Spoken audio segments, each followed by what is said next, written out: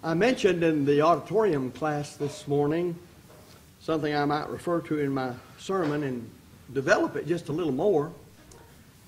And so I'll use as the introductory part of this sermon that particular story. A couple of weeks ago, thereabout, I was watching a certain show on business, and the person who was hosting that program had invited a man who taught at Harvard University. he taught business and various things connected with it. He had just written a book pertaining to ethical conduct in business. Now, there have been a number of those books and various articles along that line written, and many of them are quite good. Now, this fellow told a little story that I found rather interesting and it can be certainly applied in a worthwhile way to those who are concerned about living like the Lord and His Word teaches us to live. When he was introduced, it was pointed out by the host of the program that he had had some serious health problems, although seeing him on the television screen, it didn't, you couldn't tell it. He had suffered a rather large or massive stroke. He had had heart problems and uh, he had some other serious problem that he had been dealing with. And so he asked him, How are you doing in all of this? And he explained, though again you couldn't tell it from his speaking, at least I couldn't, that he'd virtually lost all of his power of speech and had to relearn that. Once those matters were discussed, then the discussion turned to why he was a guest on the program in the first place. And it's because of this particular book. And then he began to tell something that I found quite unique in today's world. And you might realize also he, he was quite a scholar to have gone to Harvard and gone to Oxford and now teaching it at Harvard. Very pleasant man to listen to. But they were talking about the need for his book. And then he began to tell about something that he thought was the key reason a great many people, when they start out living on a high ethical plane, fall off of it and get into such a mess. He told about the time that he was playing basketball and had evidently was quite good at it in college and he they, the team, had gotten down to the point where they were going to be on up in whatever championship it was, and you know how they go through the various rounds of playing to get there. Then he paused and said, I made a promise to God as a very young person that I would not play any kind of games on Sunday. And I thought, well, that's really interesting to hear him. So that per- that's what got my attention. So I want to hear more about what he had to say. He said then that he thought nothing about it. In fact, they were in England playing. While they were there, I don't know what all it was, but as they played down to the various games and got down closer and closer to the championship, came time for the next game, and guess when it was scheduled? And he was one of their key players. And he said he thought about it and said, My conscience just said I can't do this. So he went to his coach, whom he admired very highly, and told him about his conscientious scruples on that matter and the promise that he had made himself. And you can see where we're going. We're talking about living up to, under any and all circumstances, what's right or wrong. We're not necessarily declaring what he said was right in every case. We're just simply saying you know, all people everywhere have some sort of guidelines, some sort of standard. And he's telling now why he wrote this book for people in business, this book on ethics. But here's the answer he got as to the advice, uh, or the advice that he got from his coach. And the advice almost tells you what religion he is when he said, Well, yes, I've had those concerns too, but I decided I'd just go ahead and pray and then go to the priest and ask forgiveness later. Well, he said, being a young man and desirous of not letting the team down, we'd come so far, understanding my key position in that team, He said, I thought for a moment, okay, that sounds fine.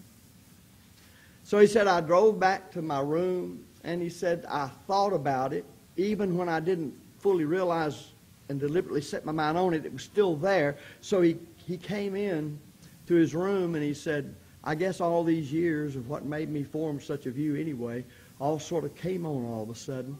And he said, I can't do that. If I start it right here, there'll be no end to compromise. Then he mentioned, I forgot how it came up, but it was in that very context, that I think the, the, the person hosting the program actually led him to it. And he went to school with Jeff Skilling. Now, anybody know who Jeff Skilling is? Well, he's from Enron infamy. And he says, I knew him in school. I knew him when he was out of school. And he says, I think I can say that he never said, I am going to do these wicked things knowing they are wicked. And I don't care. He says, I think he did just what almost happened to me. This one time won't hurt, and I can correct it later. And it just built on more and more and more because it was so easy the first time when I gave up my convictions to justify my action. And then he said, I thought right then, I'm never going to do that.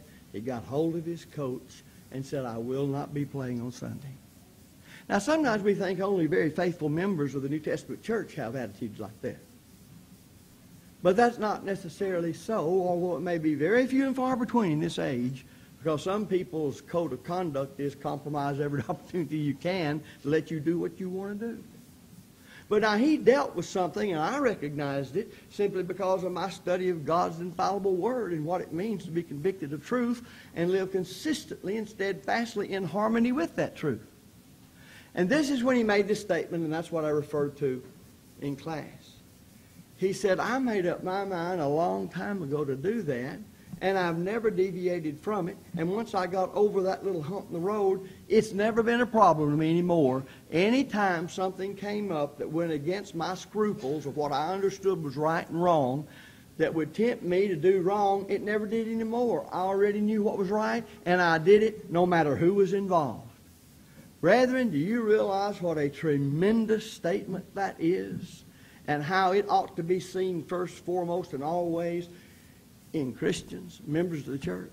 And that if you do ever say, well, it won't hurt to do it one time, you are opening a door. It's not just that you are sinning against God.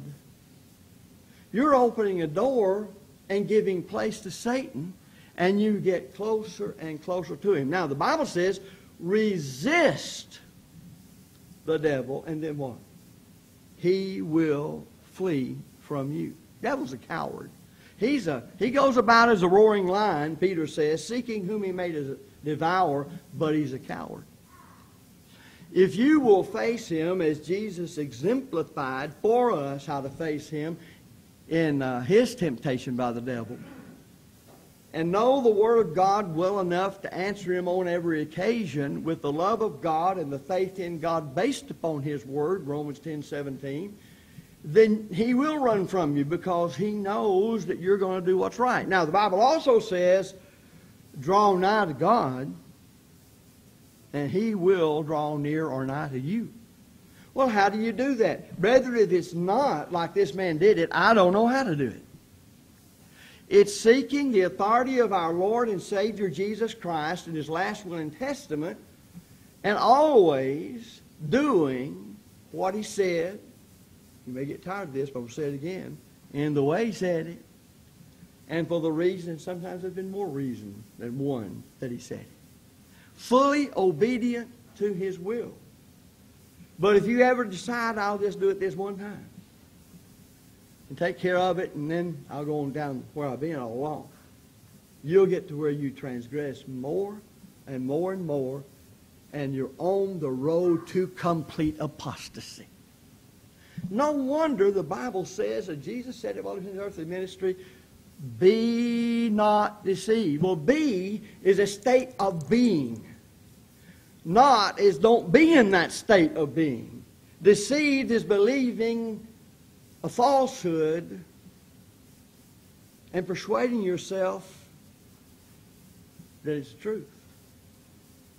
And that's believing a lie.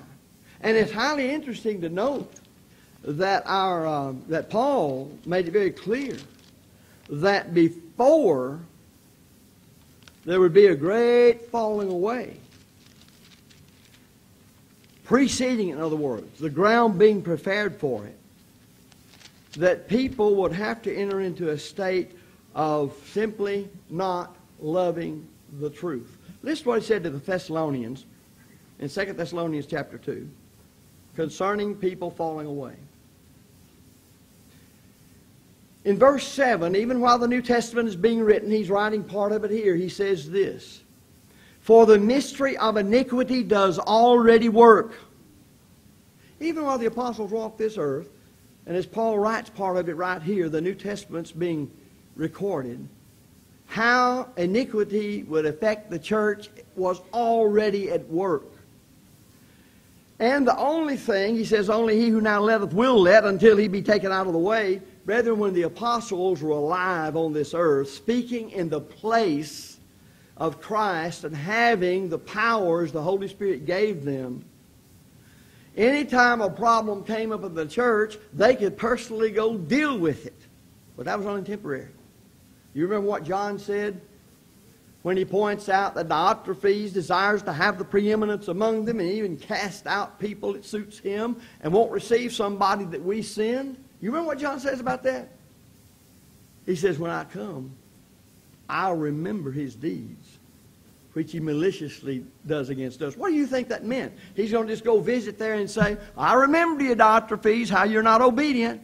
Folks, he was telling them, I will exercise apostolic discipline upon that man and straighten the whole show out. Do you see that again? Yes. You do when you see the closing parts of uh, 1 Corinthian epistle. Paul said, Shall I come to you in a spirit of love or with a rod of discipline? What is he saying? Are you going to be persuaded by the truth that's refuted your false doctrine and showed you the way to go? Or am I going to have to come there and exercise apostolic authority to correct you? Well, now we've seen some of that apostolic authority. Paul struck a man blind one time because he was coming in between him and teaching a man the truth. And he called him a few appropriate names that perfectly describe the reprobate. Now that gives us an insight into miraculous apostolic authority, but more than that, the discipline that existed while the apostles were on this earth. But we don't have that anymore. We have the apostles still teaching the same thing, in the Apostles' Doctrine, the New Testament of Jesus Christ. And we know that that's the way things should be if we would be faithful. But you see, if we're faithful ourselves, then we individually apply these things to our daily walk with life. And we resist Satan with a thus saith the Lord, as it were, and we draw out of God by submitting to his authority always. Always. And we've got to have the disposition, not because it's just this man I heard, but we've got to have the disp- I heard of it and heard, heard the uh, interview about. But we got to have the state of mind, in disposition, love of God, love of the truth, determination to do right, no matter what. That he had in saying, if it's right, I will never deviate from it because I opened the door for the devil to take up residence in my mind. You know, when Adam and Eve sinned, it was Adam, the head of the human race, that the devil was after. And he got to Adam through Eve. But once Adam sinned, the door was swung right open for the devil to enter into this world and thus access every one of us. So it wasn't just a matter of Adam saying, Oh, look what I've done personally, it only affected me, and Eve's sin affected her. He opened wide the door for the devil to come in this world, and all have sinned coming short of the glory of God. Romans 3.23, and the wages of sin is death. Romans 6.23. So there is never any room for any reason whatsoever to violate God's will, whether it's omitting what he obligates us to do in his word or simply transgressing it. It's sin, and sin's the only thing that separates us from God. Jesus has solved the sin problem.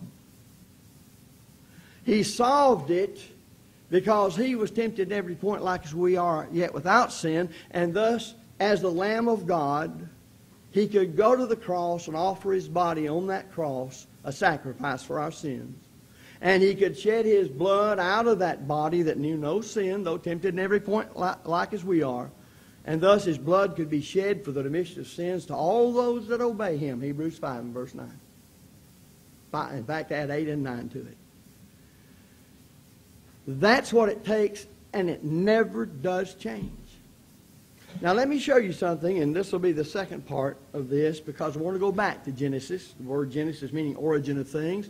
After you have Adam and Eve in this world, in chapter 4, you'll see then in verse 1 that it tells about the birth of Cain, their first son. Then their second son, Abel. It tells you the kind of living that they made. Cain was basically a farmer, and Abel a herdsman, a person who kept flocks. Now, verse 3 covers a lot of time. How, how long, I don't know, but it says in the process of time it came to pass that Cain brought of the fruit of the ground an offering to the Lord. Now, where did they learn to make offerings to God? Well, I imagine they were taught by their father. They knew that was the form of worship under the patriarchal dispensation, and it continued to be the form of worship for 2,500 years until the law was given to the Jews, which then they approached God through the Levitical system. So they're worshiping, and in verse 4, Abel also brought of the firstlings of the flock and of the fat thereof. So they both worshiped. Facts stand up for that. They both offered sacrifices. That means they gave up what they needed, and it was important to them, but they gave it up to God. Well, then why does it say in verse 4, in the last part of it, and the Lord had respect unto Abel and to his offering? In the verse 5, but unto Cain and to his offering, he had not respect. And notice, and Cain was very wroth, and his countenance fell. Well, we can understand from this very chapter what happened, but let's see how the Holy Spirit in writing the New Testament used this very thing to teach us about faithful obedience to His Word. In Hebrews chapter 11, that great hall of fame of great faithful people under the Old Testament, we see in verse 4, by faith, let's stop there. By faith, Faith comes by hearing, and hearing by the Word of God. Romans 10 17. To do something then by faith, since faith comes by hearing the Word of God, meant they were complying with the will of heaven as it was revealed to them by the Word of God. That's how one does anything by faith. So by faith, Abel offered. By faith, Abel did something wasn't just a matter of saying, I believe Christ is the Son of God, and that's all there is to it. No, faith always moves you to do what God said do, in the way He said it for the reason He said it. By faith, Abel offered unto God, there's the object of their worship. A sacrifice. But there's some modifiers before the word sacrifice, Hebrews 11 4.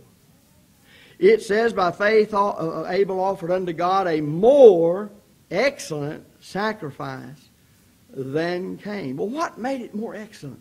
They both offered what they had, and they both sacrificed. They gave up things important to them, needful to them. Well, it means simply that Abel obeyed God in his offering, and Cain did not. And the scripture goes ahead to say concerning Abel, by which he obtained witness that he was righteous. How can anybody today obtain witness within himself evidence in himself that he's righteous in the eyes of God. Do what Bob said. Do just what Abel said or did. Act on the truth that is in God's Word. That's the only way it works. It can't work any other way. So notice that he was righteous. God testifying. God testifying of his gifts. Well, that tells me something. When I give my life a living sacrifice to God, which Paul says is my reasonable service, Romans 12 1, then God is going to testify as it was in the teaching of the Bible, what? That I'm righteous. That's the only way I know how to know whether I'm righteous. Do you know any other way to know whether you're righteous or not? There's only one way. To examine yourself honestly and objectively in the light of the rightly divided Word of God. Abel did that. Cain didn't. And so we raise the question, why then, knowing he wasn't doing what God commanded him to do, did he worship in the first place? Well, the only testimony that I think that uh, gives us concerning Cain is his disposition of heart. He had some way rationalized and thereby deceived himself that if I just worship him, I can do what I need to do and God's going to accept it whether I keep what he said or not. Now you say, well, I don't think that. Well, then what do you think? There's some reason the man worshiped, but didn't worship according to the instructions of God. And the Bible's clear on it that Abel's sacrifice was more excellent, and there was a reason it was more excellent. It was by faith. And faith comes by hearing the Word of God. Thus, it's by the Word of God that he did what he did. That's how he worshiped God. But what if he had been like, and maybe this tells the story about him? That is, Cain. One time won't hurt. But it did. And what impact did it have upon Cain when God himself pointed out that you were wrong? Well, come back over with me over to Genesis 4. Starting where we left off in verse 4 and the latter part of that verse, and the Lord had respect unto Abel and to his offering. And that's what the Holy Spirit, who was there when this happened and inspired Moses to write this account, when he inspired the writer of Hebrews to write it. What's time to him? But unto Cain and to his offering he had not respect. Now, what was the impact upon Cain? Cain was wroth. He was madder than a hornet. And no wonder his countenance fell. Now, the Lord tries to reason with this fellow. And the Lord said unto Cain, Why art thou wroth? Make him think for a minute. Why are you in this state of mind that you're in? Why is thy countenance fallen? And then he tells him, which is still true to this day, if thou doest well, shalt thou not be accepted? And if thou doest not well, sin lies at the door. Is that hard to understand? It also defines in service to God what is doing something well and when it's not well. Well is when by faith or by the Word of God, since faith comes by hearing the Word of God, we act. We do what God said do. That's doing well. You can't do any better than well as God defines the word well. How do you do better than well? You can't. That's all any of us ought to want to do, is to do well as God defines well. And He defines it here as complying with His will. And never deviating. Never saying, this one time to play on a certain day is all right. Or this one time won't hurt. Now, how mad was he? Well, he talked with his brother Abel. And it doesn't say what they talked about, but you can almost guess in view of why the fact that God said Cain was mad because his offering was not accepted. And he tells us that Abel's offering was accepted because it was well, it was by faith, it was as the Lord in his word directed him. But they were in the field, and Cain rose up against Abel, his brother, and slew him. And in one way or the other, down through time, all the kings in this world, they can be very religious, have tended to go the way Cain did here as to his disposition and action toward the brother who simply did what God told him to do. And then we have, of course, the whole story of what happened after that. But there's our point. There's our point. You cannot give place to sin any one time and think everything's all right. Now, through weakness and through ignorance, sometimes we stumble. But here is a case where they know exactly what God has said. And Cain does it, or rather Abel does it, and Cain doesn't. Well, why would he take it out on Abel? All Abel did was say, uh, Speak, Lord, as it were, thy servant heareth command, and I'll obey, and he did it. And he's selected by the Holy Spirit thousands of years later through the pen of the Hebrews writer as an example to all of us of faithful obedience to God and never deviating from it. Now, let me raise this question as we come toward the end. We hear, and I use a lot, the terms liberal and conservative. Every time that I use them, I define them because they are general terms. They can be used to mean various things by various people. I always point out that liberal means one who, by his teaching, looses people from what God in His Word binds upon them. And by conservative, uh, I mean those who conserve the authority of the Scriptures and who comply with the mandates of the truth of God as set out in the Scriptures. I will go further and point out that you hear the term many times anti, and by that we simply mean those who bind no men what God did not obligate or bind upon them. I don't discuss pe- with people those things unless they tell me what they mean by them. In logic, you can simply have what's called a verbal dispute, which means you've got the same terms, but one's defining it one way and one's defining it the other. How in the world can you ever discuss anything, arrive at anything, when one is saying one thing and meaning it this way with this term, and you're saying something completely different when you use the same term over here? That's the reason you define your terms. That's how you understand that you're all on the same line on the matter. And so it is that I focus on the word liberal, where people, by their doctrines, by what they teach, and even by the example they set, loose people from what God in His rightly divided word bind upon them.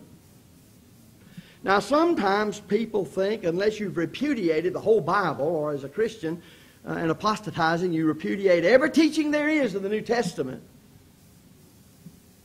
uh, that really you're not apostate. And if it comes to loosing where God hasn't loosed, then they think if you haven't loosed everybody from every obligation the authority of Christ in the New Testament lays upon them, then you're not liberal. That's not true. Let's take a case from the New Testament. Let's go into the last few verses and the first few verses, or the last few verses of chapter 14 of Acts, first few verses, in fact, the whole chapter of chapter 15. And let's keep in mind what is said in Galatians 1 and 2.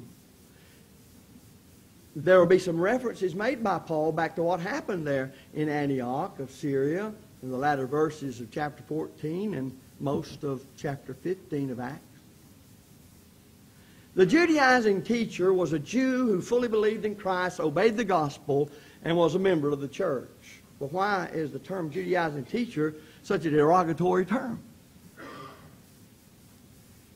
Because when the Gentiles, when it became obvious that God had willed that the Gentiles could be saved by the same gospel the Jew had believed and obeyed, there rose up certain that we learn from Acts 15 of the Pharisees who believed, which means those of the Pharisees who heard and obeyed the gospel, that if you're a Gentile, you still must be circumcised to keep the law or Jesus can't save you. Now, of course, that's binding where God didn't bind. So they came from Jerusalem down to Antioch and began to teach that doctrine. And you will find rather quickly that Paul and Barnabas being there, and Paul being an apostle, fully knowing exactly what the gospel was and what it wasn't, being the apostle to the Gentiles, had never taught any such thing. And immediately they took issue with that person or those persons who taught that you can be saved by Christ But here's the full plan of salvation for you Gentiles. Hear the gospel. Be persuaded by it that Christ is the Son of God. Therefore, fully believe that He's the Christ. Repent of your sins. Confess your faith in Christ as the Son of God. And then you are qualified to be baptized for the remission of your sins. But don't stop there. You Gentiles had to be circumcised to keep the law. Now you're acceptable to Christ. Paul rose up immediately and dealt with that matter. And here is what he refers to about that in uh, the book of Galatians. He says in Galatians uh, chapter 2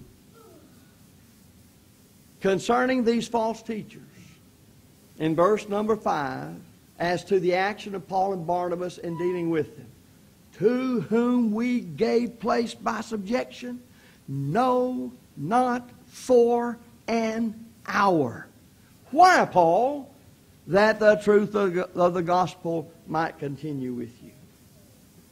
When false doctrine is taught, it's poison in the spiritual system of the Lord, and the antidote must be given immediately. When you know a thing is sin, and there's no doubt about it, and it has invaded the spiritual body of Christ, you deal with it according to the example of the Apostle Paul. And can you find a better example? Notice his attitude toward them in verse 6. Those who taught the false doctrine. But of these who seem to be somewhat, whatsoever they were, it maketh no matter to me. God accepteth no man's person. For they who seem to be somewhat in conference added nothing to me. I'm an apostle of Christ. And Jesus, by the Holy Spirit, gives me everything I need to know, and I don't need to go meet with anybody. He is in the position of all apostles of Jesus Christ. He knows what's right. He didn't have to wait till they got down and discussed all that matter in Jerusalem, Acts 15, before he stood up for the truth and exposed error. He's already in a great dissension with him as soon as he heard the false doctrine in the church at Antioch. Just read it there. They had a pretty heated ramrod effect there because error destroys. The only enemy you've got ultimately sin. Sin's like a cancer. How much of it do you want in you? Should you wait till it's eating your head off and then say, think I ought to do something about this? Well, you won't be thinking too much if it gets that far along in your head. Notice, he goes on down here and specifies dealing with brethren, and look who these brethren are. Who had played the hypocrite. That's what dissimulation means in Elizabethan English, the King James Version. And this is what he said. But when Peter was come to Antioch, I was stood into the face because he was to be blamed. Blamed for what? For before that certain came from James, he did eat with the Gentiles. But when they were come, he withdrew and separated himself, fearing them which were of the circumcision. And the other Jews dissembled, played the hypocrite with him. Likewise, insomuch at Barnabas, who's called, when we were first introduced to him, son of consolation also was carried away with their hypocrisy, their dissimulation. Now watch what he said. But when I saw that they walked not uprightly according to the truth of the gospel, I said unto Peter, this is a public matter, folks, before them all, if thou, being a Jew, livest after the manner of Gentiles and not as do the Jews, why compellest thou the Gentiles to live as do the Jews? They're still trying to iron out in their mind what it is to be a Christian under the New Testament of Christ, that all men approach God through the New Testament of Christ. Now, the point being made here, when Paul saw the error that was taught by the Judaizing teachers, when it first reared its ugly head in the Lord's church in Antioch, he took issue with it right then. Didn't wait an hour. When Peter comes to Antioch, a fellow apostle, guided by the Holy Spirit just as he was, Peter did not live up to the truth he had been given and revealed in Acts 10 and 11. For it was through Peter that it was made clear that the Gentiles, the uncircumcised Gentiles, have a right to salvation on the same basis, by the same rule, by the same gospel, God's power to save, that the Jew does. Now, when you put it all together, what does that say about dealing with any sin as soon as you know it's sin, and especially a public sin? What do you do? And if you're going to have a thus saith the Lord, that he's going to like, live by faith, act by faith, as Abel did, and as Abel is used as an example to teach us how to act in Hebrews 11, what are you going to do? Are we going to be like uh, a certain Roman who said, Go thy way. I have more convenient season, I'll call you. There is never a convenient season going to come. That convenient season, as soon as you know what's right, you do it.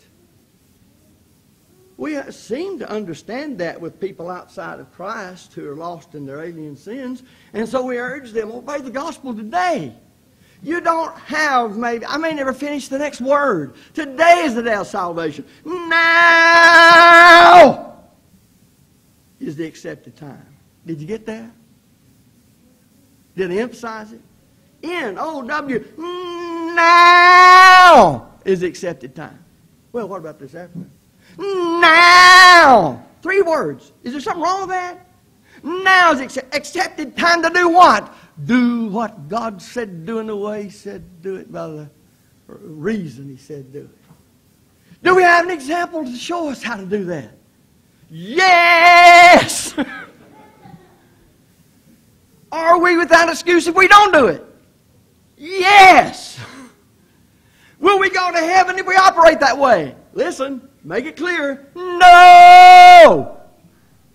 What are we going to do about it? Repent! You won't forget this today, brethren. You just will not. You may not believe it. You may not like the way I said it. You will not forget it. And that's my job. That's my job. So, to live by faith is to be sure you do what the Bible authorizes. And when is it time to do that? Now. I'm not trying to be just facetious. I'm doing something to make a point. I know something about public speaking. I know something about driving home the point that seems to be overlooked sometimes. And I've driven that just about as hard as I know how to drive it. so if you're not a Christian, today's the day to do it. But not just today. Now. That you can be a person who lives by faith as the Bible sets out the totality the information of what it is to do. There's a sense of urgency. Brethren, if you're, if you're a sinner, don't you know if you die now, you're lost? If that's not what preaching and teaching and serving God's all about, to be saved, will you tell me what we're supposed to do? Why have I spent 47 years preaching? I could have been out there doing like a lot of other folks. But I am thankful to God Almighty that a long time ago I chose the better way and I've never regretted it. A lot of hardships, but not near as much when I look at those in the Bible. Why, what I face pales in insignificance when it comes to what they face. And I'm too far down the road. I can almost see the door into glory. I'm not going to quit. He's never done anything but take care of me through thick and thin. And he never will if by faith I serve him until he calls me home or the Lord comes back first. We study what to do to become a Christian. If you're not, we hope you will. If as a child of God you've sinned, you know you've sinned, you brought reproach on yourself, on the church, on the gospel, why be stubborn and full of pride and keep on in sin, you'll be lost. Humble yourself on the mighty hand of God. Receive with meekness the engrafted word which is able to save your soul. Repent of your sins. Come confessing them. We'll pray with you and for you. And the great God of glory will forgive you. And once again, we can all go in scriptural fellowship right down to the day that we depart this life. And we'll lay our armor down, so battered and scarred it very well may be and we can breathe a great sigh of relief because we fought the good fight. We've kept the faith. Therefore, there's laid up for us a crown of righteousness. Not to me only, Paul says, but to all those that love his appearing. If you're subject to the great call of our Lord, through the gospel, we invite you to come while we stand and sing.